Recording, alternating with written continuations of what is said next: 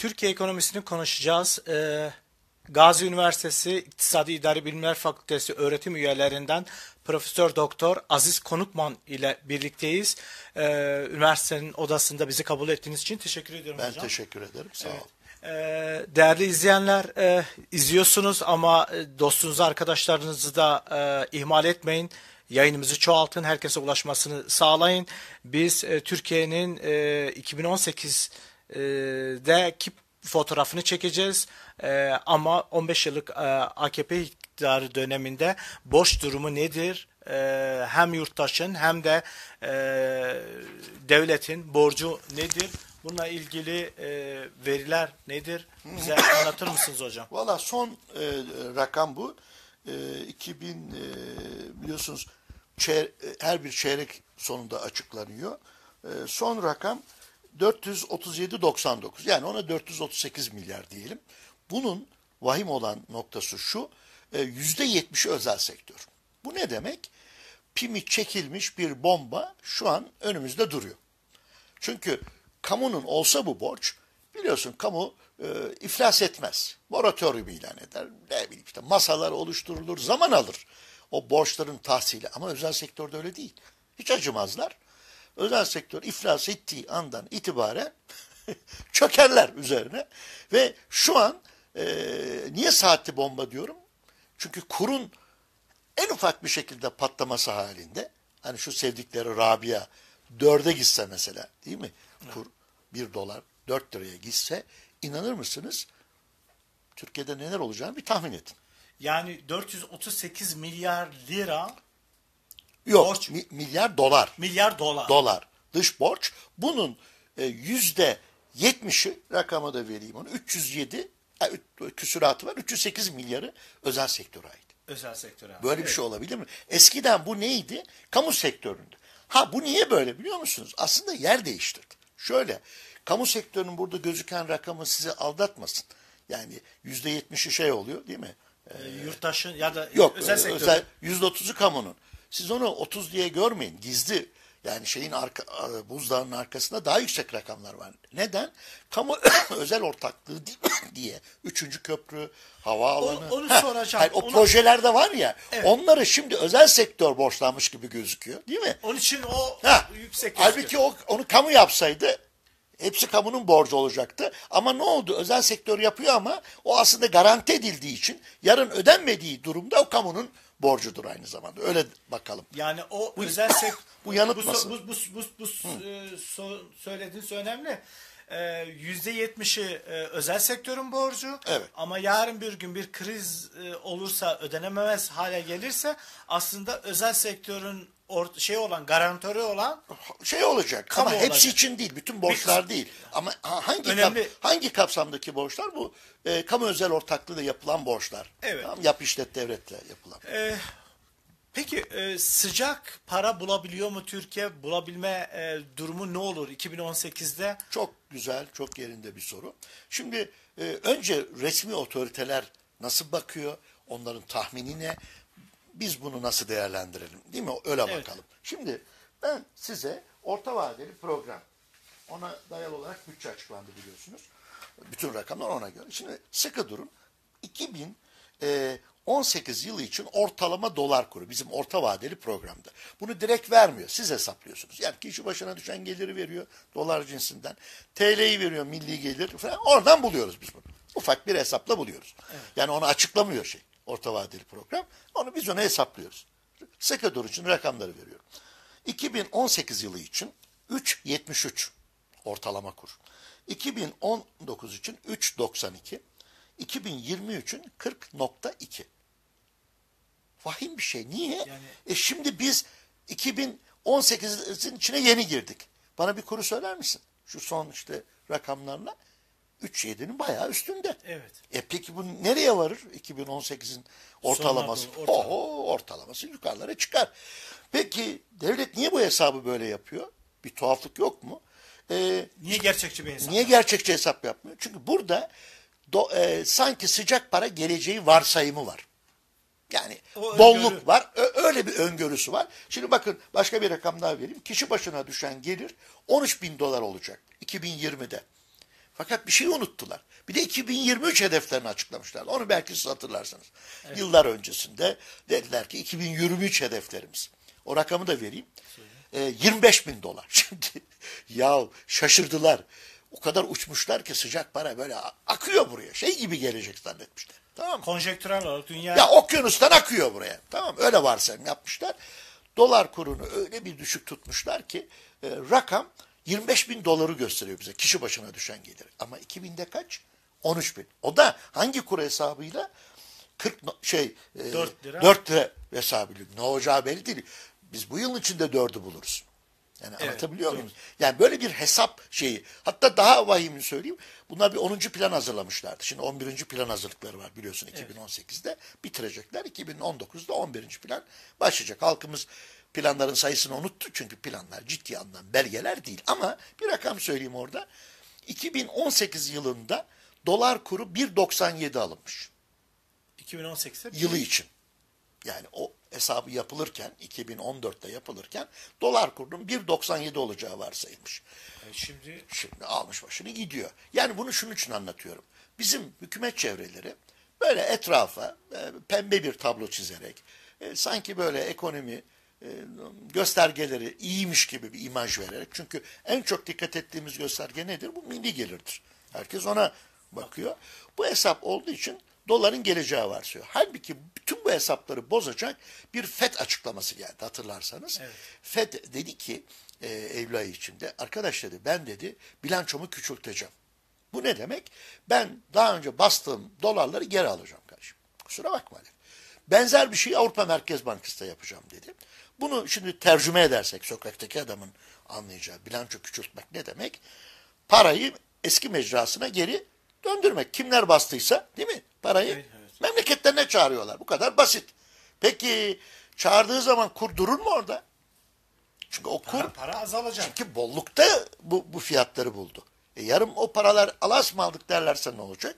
Ha şimdi bunu bilemeyiz. Ka- kaçta durur? Değil mi? Kaç ne kadar para çekecekler? Bunları bugünden görmek mümkün değil. Faiz oranları mesela artılacak diyor 3 kez 2018'de.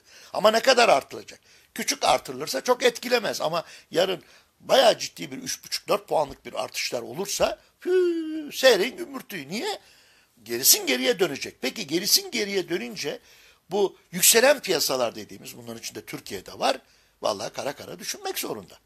Bir de üstelik bu parayı çevirtmemek için Türkiye gardını alacak. Ne yapacak? Faizleri yükseltmek zorunda kalacak. E saraydaki buna izin verecek mi? Diyor ki arttırmayın. Halbuki Türkiye 10 yıllık tahvil borçlanmasında püf, acayip yüksek faizden borçlanıyor. Rantiye'nin bütün kaynaklarını Türkiye sağlıyor. Musluğu açan Türkiye ama saraydaki diyor ki ya siz işte rantiye kesimini zengin etmeyiz biz. Böyle bir değil mi havalara giriyor filan. Hatta hızını alamıyor. Kardeşim diyor bazılarını duydum ki diyor buradan paralarını çekip başka yerlere gidiyorlarmış. Biz. Bak bunları izleriz diyor. Biz, ya, yani sizi perişan ederiz der gibi havada. Sonra bir çark ediyor. Çünkü uluslararası finans çevrelerinden çok ciddi tepki geldi. Hatta Türkiye'den de AKP'yi destekleyen Nagihan Alçı çok sert bir yazı yazdı. Yani parada çeker gider gibilerinden. Ya dedi yanlış anlaşıldı. Ben liberalim dedi ya. Benim öyle rantiye kesimlerine bir laf söyleme şansım yok. Bu bunu böyle tercüme edelim ne olur. Böyle demedi de ama yanlış anlaşıldığını söyledi. Çünkü dedi 32 sayılı karar vardır bizim. Ağustos 1989'da alınmış. Sermaye hareketlerinin serbestleştirilmesi kararıdır. Ondan Türkiye geri dönemez. Uluslararası finansa göbeğinden bağlı Türkiye. Orada ey çekemez. Bakın ey finans çevreleri diyemez. Ne oldu? Çark ettikten sonra söyledi. Ya ben burada FETÖ'yü kastettim. PKK'yı kastettim. Onlar işte dövizlerini dışarı. Ya kardeşim onların biz burada legal para trafiğinden bahsediyoruz. Senin öbür bilemeyiz öbür günde ne oluyor ne gidiyor. Yani e, şöyle söyleyelim isterseniz. Önümüzdeki dönemde e, eğer böyle bir sıcak para kaçışı olursa e, yukarı yukarı tükürsen bıyık aşağı tükürsen sakal konumu. Çünkü sarayla e, şeyin hükümet yetkililerin papaz olma e, durumu söz konusu. Çünkü sıcak parayı durduracak biricik faktörlerden biri faizleri yüksek tutmak. E ona da bizimki izin vermeyecek. Evet. Hocam bir de biraz daha sosyolojik bir boyuta da eğilmek istiyorum. Borç ile siyasal tercih arasında bir ilişki var mı? Çünkü e, 438 milyar dolarlık bir borcun %70'inin özel sektörde olduğunu varsaydım. Özel sektörün ve tabii orada çalışan binlerce, on binlerce, yüz binlerce insanları da birlikte düşündüğümüzde çünkü etki ediyor. Tabii. Onların siyasal tercihleri e, üzerinde bir E, etkisi tabii var. olur. Şöyle olur. Bir kere sizi e, dış borç tuzağına düştüğünüz için dış borç veren çevrelerin değil mi? E, politik, uluslararası ilişkiler tercihinin dışına çıkamazsınız. Yani onların karşısında bir özel bir dış politika izleyemezsiniz. Ama ne yaparsınız? İzliyormuş gibi izlenim verip el çekersiniz devamlı. Şimdi Allah aşkına el çektiği ülkelerle bir ilişkilerine bak Cumhurbaşkanı. Şimdi e, İsrail karşıtı gibi gözüküyor değil mi? E, anlaşmalar imzaladı bir sürü. Ne yapacağız onları? Yani tabii mi? Yani orada e, sizin e, el çektiğiniz ülkelere çok fazla bir şansınız yok. Çünkü dış e, bunu e, Osmanlı'nın düğünü ummiye dönemini yaşadı. Hatırla 1881'de düğün ummiye kuruldu. Sonunda nereye gelindi? Şey, kardeşim dediler otur şuraya. Bütün vergi gelirleri ne kadar şu, şunun şu kadar kısmına el koyuyorum. Niye? Borçların faizini ödeyeceğim, ana paralarını ödeyeceğim hemşerim dediler. Ve düşünebiliyor musunuz? Orada sizin bütçe politikanız bitti. Yani siz bütçe niye yaparsınız? Topladığınız vergi gelirlerini değil mi? Nasıl ne kadarıyla yol, su, hizmet bunları yapacaksınız. Duyun Ummiye dedik ya na, dalga mı geçiyorsun kardeşim? Önce dedi borçlarını ödeyeceksin arkadaş. E şimdi IMF'nin Dünya Bankası'nın bundan farklı bir işlevi var mı? Biz Duyun Ummiye'yi kaldırdık dedik değil mi? Hikaye Duyun Ummiye devam ediyor. Ben e, biz IMF'ye borç vermek Ödedik. istedik. e, vermek istedik. E, Onlar sonra vazgeçti diye Ya bir küçücük bir rakam işte 5 milyar verelim bilen gibi bir şey. Allah aşkına bu neye benziyor biliyor musun? Çevremizde çok vardır. Anadolu'da böyle çok adam vardır. Bir sürü yerden borçlanır tamam mı? Sonra gider birilerine borç veriyor havalarına girer tamam mı? Prestijini e, yüksek tutmak için. Ya sen dilendin, dilendin, dilendin. Sonra bir günlüğüne de bir kabadayılık yapıyorsun. Hadi lan sana da şu kadar. Bu, bu kabadayılıktan başka bir şey değil. Yani uluslararası e, finans çevreleri buna gülüyor. Yani bunları ciddiye alınacak şeyler değil samimi söylüyorum. Ben e, özelleştirme, özelleştirmede e, 1980'den bu yana bir özelleştirme programı var. Yani 80, orada 80 80'den değil de 84'ten bu yana. Çünkü ya- yapısını kurdular, daireyi, özelleştirme Evet. idaresi falan filan biliyorsunuz. öyle bir perspektif Evet, var. Politikaların başlangıcı Tabii, 24 tabii. Ocak kararları. Karar- esas o esası şeyi o oldu. ver, tabii. Evet. Şimdi e, bu özelleştirmede e, bir son 14-15 yıllık AK Parti hükümeti dönemindeki tablo nerede duruyor? Yani çünkü Ya Özal'dan toplam- bu yana başladı ama Anladım. Şimdi e, ya e, Özelleşme İdaresi'nin başkanlığının web sayfasını tıkladığınızda bu rakamlara çok rahat ulaşıyordunuz. Ya, nasıl kamufle etmişler anlayamadım. gizliyorlar. He, yani ben bak Profesör Doktor Aziz Konukman'ım ben. Benim alanım bu. Fakat ben o rakama ulaşamıyorum. Buradan da özelleşme idaresi yetkililerine de bir seslen, seslenelim. Ee, mesela özelleştirme uygulamaları diye bir şey var. Ee, web sitesinde e, zip dosya var. Açıyorsun 1-2 diyor özelleşme 1-2 analiz var ama tablo yok. O tablo vardı eskiden. Çok güzel böyle bir tablo. Yani toplam Kendi okumalarınızı tabii, yapmak için rakamları kendi- tabii. Rakamları veriyor. Blok satış mı diyor, ne diyor filan. Sonunda Naci Ağbal'ın bir basın e, açıklamasından öğreniyoruz ki rakam 70 milyar dolara gelmiş. Tamam. Bunun aşağı yukarı yüzde 88'e yakını neredeyse şeyindir. E. AKP döneminin e, şeyidir. Hocam ben AK Parti'yi kullanmıyorum. AKP ha. AKP dönemi diyorum. Çünkü başka bir çağrışım yapıyor. Ee, ve e, bu kadar yüksek bir e, rakama ulaşan bir şey yani bizim düğün olmayan modern versiyonu olmuş oluyor. Araç maraç sattık bunları. Her şey Ee, satıldı. he, yani bu bundan bir yatırım, bundan bir ne bileyim yol, su, hizmet gibi bir şey söz konusu olmadı. Birilerine transferler yapıldı. Evet. E, şimdi e, bir Ve de çoğu da çoğu da şey çoğu da şey hani halka e, şey dediler ya halka yayacağız işte efendime o e, dıdının dıdısı yani çok küçük bir rakam esas blok satış ve e, tesis satışı şeklinde cereyan etti onu da unutmadan söyleyelim. E, varlık fonuna gelmek istiyorum. Varlık fonu e, nasıl bir işlev görecek? Sıcak para bulmada bir e, rolü ne, ne? Valla zaten e, sıkıntılı bir dönemin ürünüdür varlık fonu. Çünkü devlet 3 rating kuruluşundan not alamayınca biliyorsun Standard Poor's, Fitch, e, Moody's bunlar Türkiye'yi yatırım yapılabilir e, şeyin altına düşürdüler. Düzeyin altına. Yatırım yapılabilir derken fabrika kurmak yatırımı değil ama arkadaşımız yanlış. Finansal. Finansal. yani portföy işte ne bileyim sıcak para. Yoksa kimse ne olur bir ha, şey gelip yapalım. buraya fabrika kurma değil. Yani finansçıların yatırımıyla bizim iktisatçıların yatırım kavramı aynı şey değil.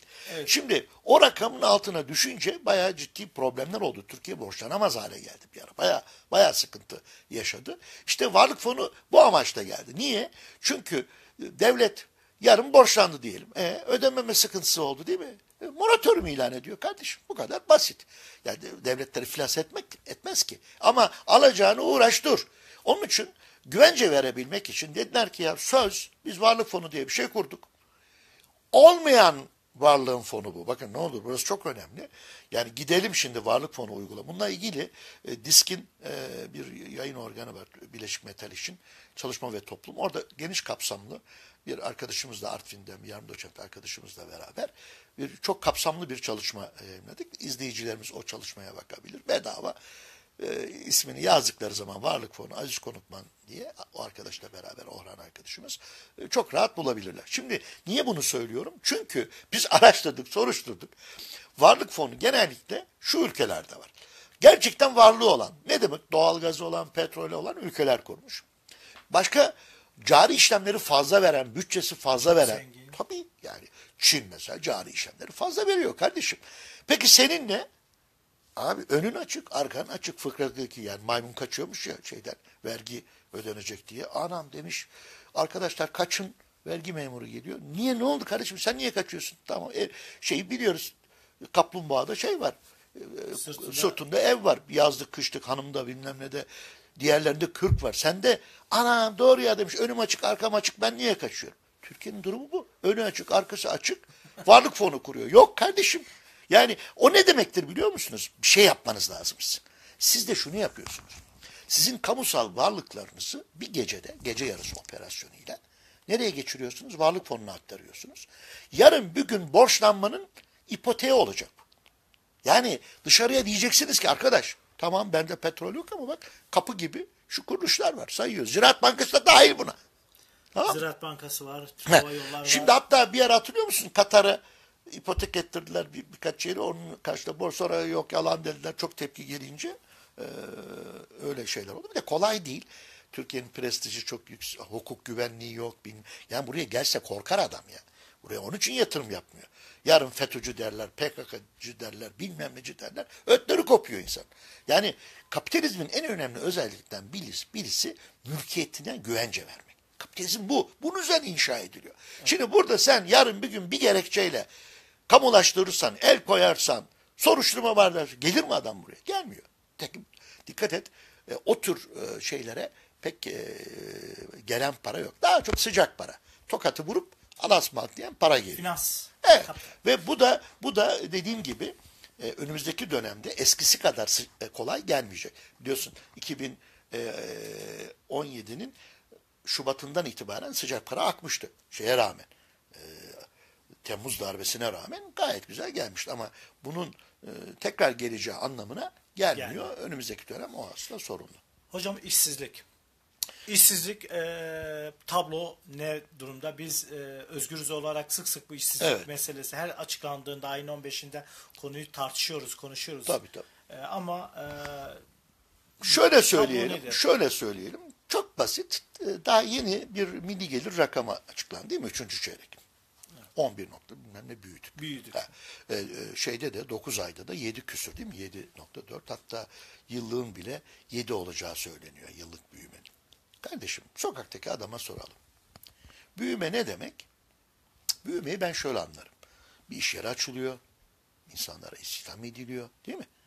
Arkadaş literatüre girdi bizim durum. Buna istihdamsız büyüme diyorlar. Ya da yeteri kadar istihdam yaratmayan büyüme. Gavurcası jobless growth. Bu istihdam yaratmıyor değil. Biraz e, köşeli ifade. Yeteri kadar yaratmayan. Ne demek istiyorum?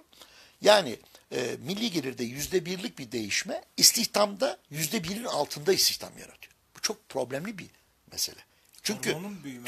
yani hayır hayır hormon şeyden bağımsız. Yani diyorum ki Türkiye'nin büyümesi büyüdüğü oran kadar istihdamı ne yapamıyor? Yaratamıyor. Bu çok önemli bir sorun. Halbuki normalde en azından büyümenin değil mi? Oranı kadar bir istihdama ne yapması lazım? Yansıması lazım ki sokaktaki adam büyümeyi hissedebilsin. Şimdi bizim insanımız niye büyümeyi hissetmiyor? Çünkü şey yok. İstihdamda bir sıçrama göremiyor. İşte literatüre girdiden kastım bu. Dolayısıyla işsizlik rakamları iki, iki şeyde dondu kaldı. Ve e, bu, bu yani şöyle bir durum var. E, ekonomi büyüdü denilen bir ortamda dahi insanların işsizlikten inim inim inlediği bir ülke konumuna düştük. Bu yetmiyormuş gibi bir de enflasyon da iki haneli. Yani E, e, bu, bundan daha kötü bir haber var mı insanlara?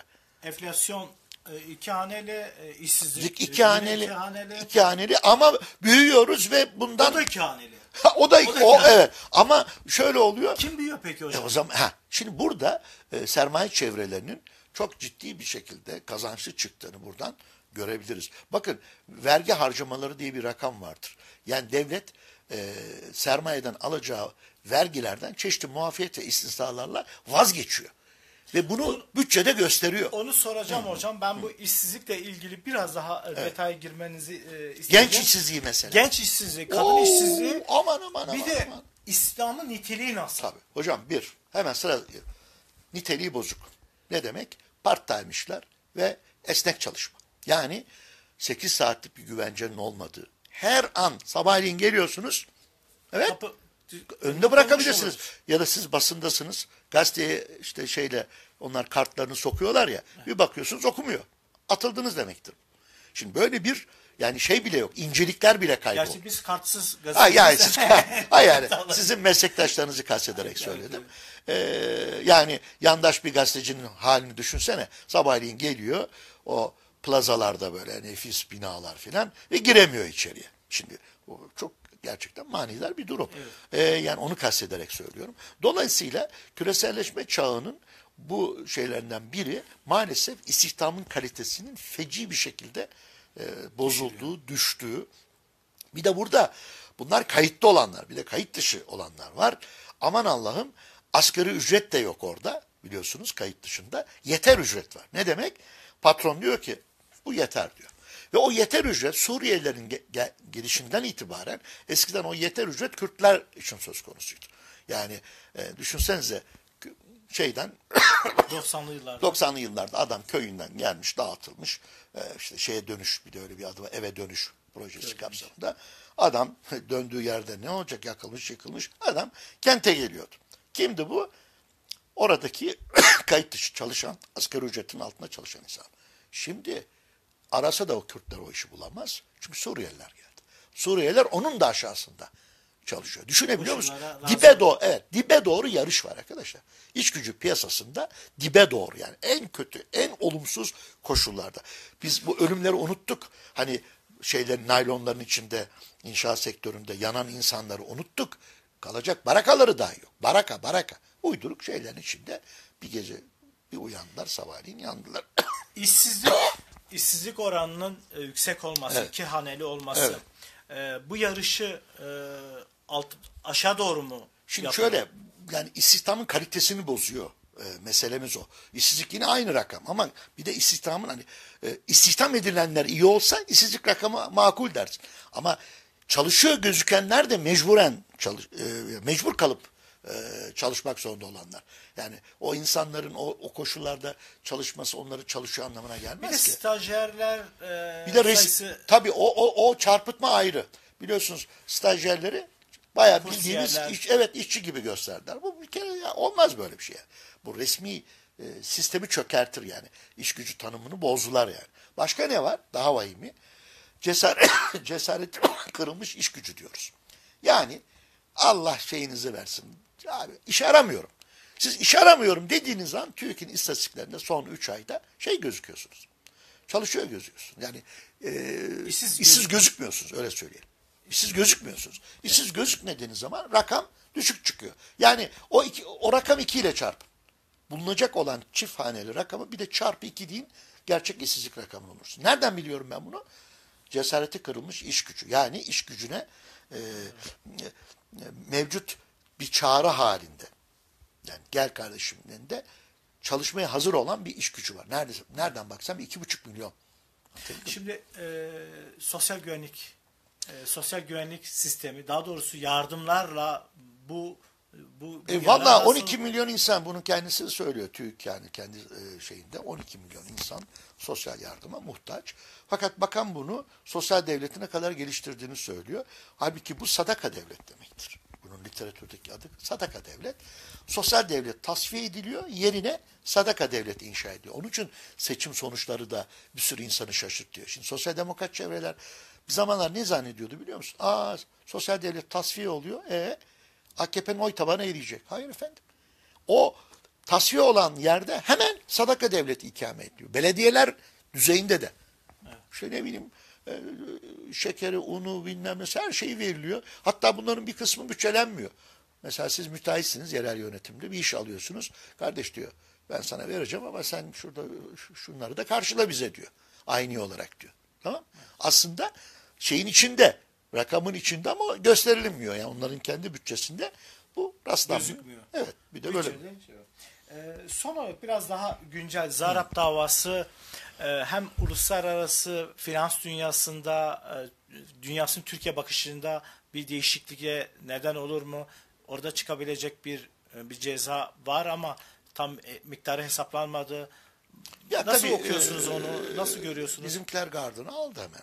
Biliyorsunuz o sözü geçen bankanın ola ki cezalandırması durumunda o bankanın tüzel kişiliğini yok edecek birleşme ve bilmemlerin yolunu açtı. Bir bankacılık esasında bir düzenleme yaptı. Evet. Ama bunlar e, geciktirir işi. Yani düşünsenize siz X bankasını sorumlu tuttunuz. O banka kendini tasfiye etti birisiyle birleşti. İyi de yani o hukukta ortadan kalkmıyor ama zaman alır. Yani evet.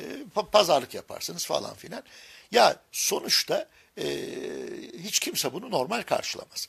Yani olayı böyle milliyetçi bir söyleme getirip işte Amerika bizi yaktı etti filan. Ya kardeşim kendine bir dön bakayım.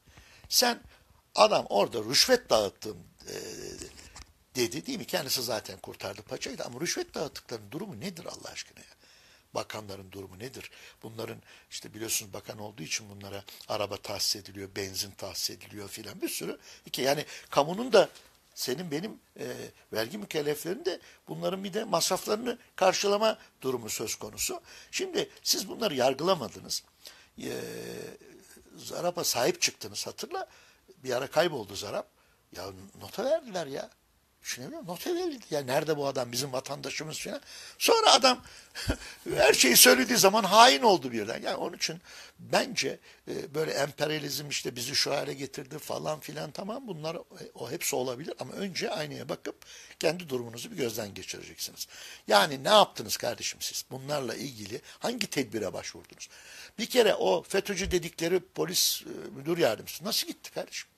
Ya ben şeyim olmadı diye okuldan izim olmadı diye Kıbrıs'a gidemedim bu OHAL yasası biliyorsun e, Kıbrıs'a normalde serbest. Herkes istediği gibi gidebiliyor. E, şeyinizi veriyorsunuz. Pasaporta bile gerek yok. Nüfus kağıdınız ama okuldan izin almadım diye bu OHAL yasası. Tabii tabii izin almak. Profesör olarak. Evet OHAL yasası. Beni almadılar ama polis yardımcısı, müdür yardımcısı o çok rahat FETÖ'cü gidiyor. Yani onun için bu iki olayı bir karşılaştırsınlar. Aziz Konukman çıkamıyor ama FETÖ'cü şimdi anlaşılan bütün dosyaları götürdüğü anlaşılan kişi çıkıyor. Şapkanızı önünüze bir koyun arkadaş. Başkalarını suçlamadan önce sizin çarkta bir şeyler bozuk. Bir şeyler sağlam gitmiyor. Önce onun bir hesabını yapın. Evinize çeki düzen vermezseniz dışarıdan herkes her şeyi söyler sizin için. Değil mi? Evet. Son dedim ama hocam bir şey daha sormak istiyorum. Çalışmadığınız bir konuda evet. soracağım. Sor tabii tabii tabii sor. Bildiğim ee, kadarıyla. Tabii ki. E, şey vergi vergideki e, adalet sistemi nasıl? Valla şöyle söyleyelim mi? E, kabaca yüzde yetmiş dolaylı vergi bu sefer 68-69 o bantta çıkıyor. Yani 2-3 yıldır 68-69 ama kabaca 70. E, doğrudan vergiler yüzde 30. Bu şunu demek istiyorum. KDV, ÖTV'lerin yer aldığı vergiler, e, dolaylı vergi diyoruz. Yani gene, genellikle halk yığınlarının ödediği, emekçilerin ödediği, hatta ödediğinin farkına varmadığı, çünkü bilmiyor ekmeğin içinde. Bilmiyor arabanın içinde.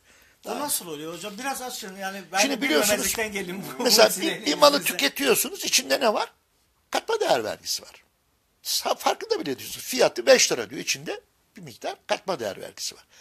Benzin alıyorsunuz iki tane var. Hem katma değer hem ÖTV var. Tamam mı? Çünkü o biraz daha lüks mal oluyor.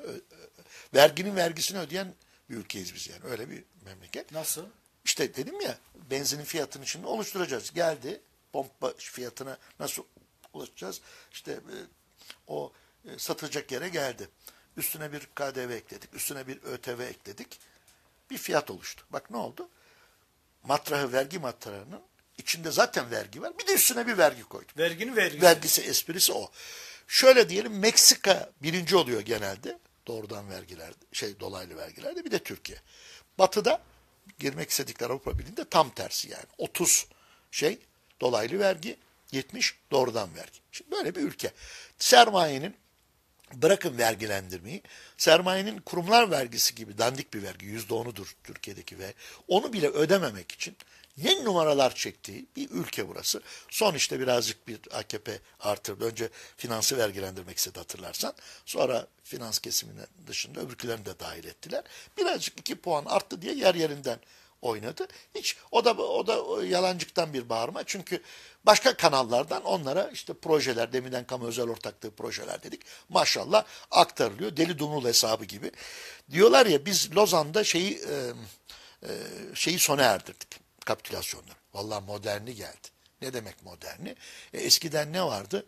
Demiryolu yaparlardı. 49 yıllığına işte bütün şeylerini Gelirler, e, sana. e, Bu da diyor ki işte hastane mi yapıyorsun? Merak etme hasta sayısı garantisi veriyorum sana diyor. Orada da yolcu garantisi verirlerdi eskiden. Yük garantisi verirlerdi demir yollarına. Burada da hasta garantisi veriyor. Köprülerde- Köprü yaparsa yolcu ve şey garantisi Araç, veriyor.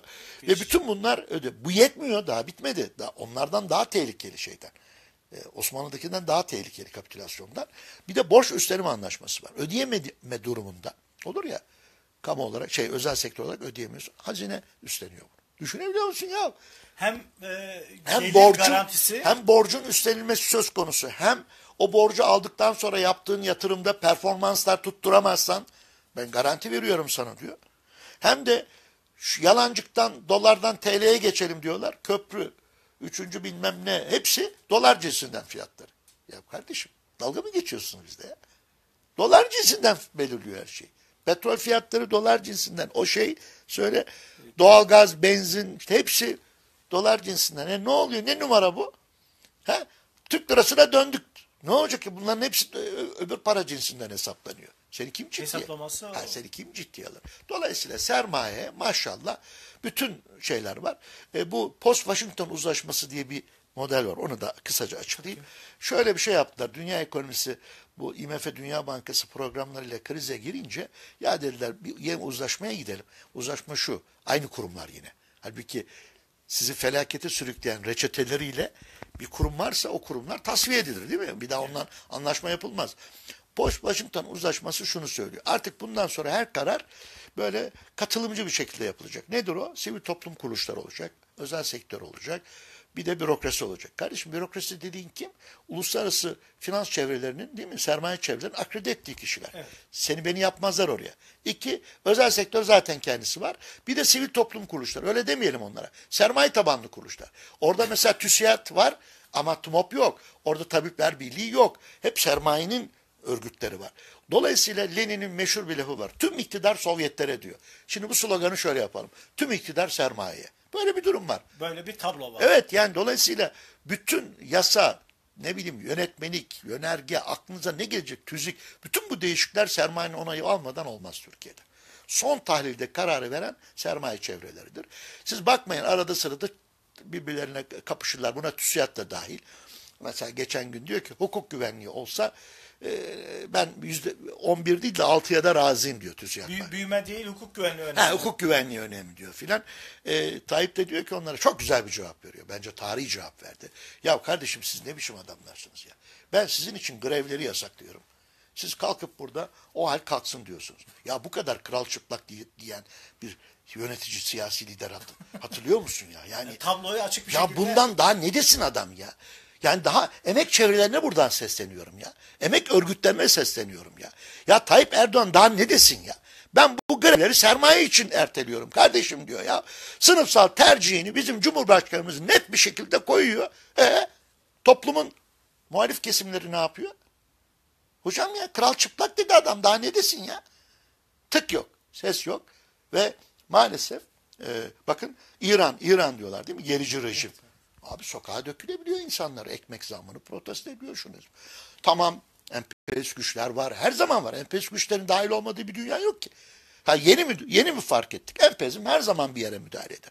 Ama olayları hep empezme bağlarsak içerideki dinamikleri unutmuş oluruz. Yani bugün orada insanlar sokağa çıkabiliyor. Burada çıkamıyor kardeşim. Bu kadar basit. Yani ne yapacağız? yasak. Yasak Çünkü ne, yapacağız? Evet, evet, için- evet, evet. Çok teşekkür ederim hocam. teşekkür ederim. Evet, Kolay e, gelsin. Profesör e, Doktor Aziz Konukman ile Türkiye ekonomisi tablosunu e, çizdi bize. E, çok teşekkürler. Sağ olun hocam.